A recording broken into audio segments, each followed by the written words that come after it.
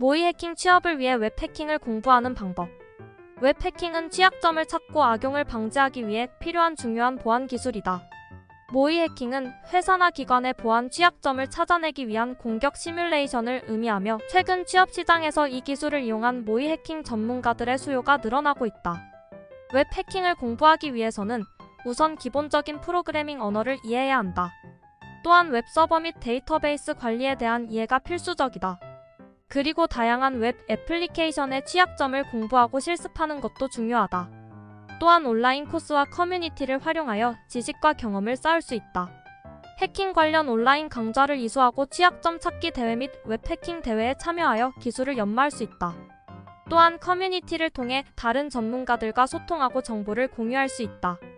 마지막으로 웹 해킹에 대한 법적인 책임과 윤리적인 이슈에 대한 이해도 필수적이다.